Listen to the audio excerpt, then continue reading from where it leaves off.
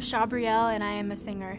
Uh, I have been singing since I was a little girl, but I just got started like actually performing uh, downtown at a place called Talkie Trees. It was like a little open mic place, and from there on, it's just been growing. I've been performing more and more, different places.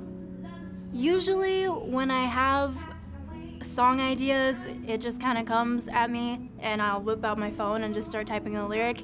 And then, if I have the time, I'll just keep going with it with whatever I'm feeling or whatever the topic is. But I have millions of notes of little things that I just write throughout the day, and I just never get to actually writing the song. So that's usually where the inspiration comes from, from whatever, whatever weird thing, whatever emotion.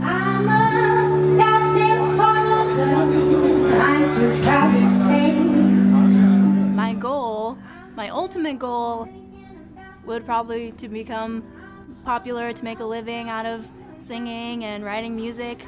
Um, my goal for now is to get all my songs recorded and for people to listen to and listen to them and enjoy them. Why do I keep doing it? Because it's the only thing I can do well. Yeah. So I think raw is a very cool thing for any type of artist around the country, and I'm very glad to be a part of it. I'm Sabriel, and I am a raw artist.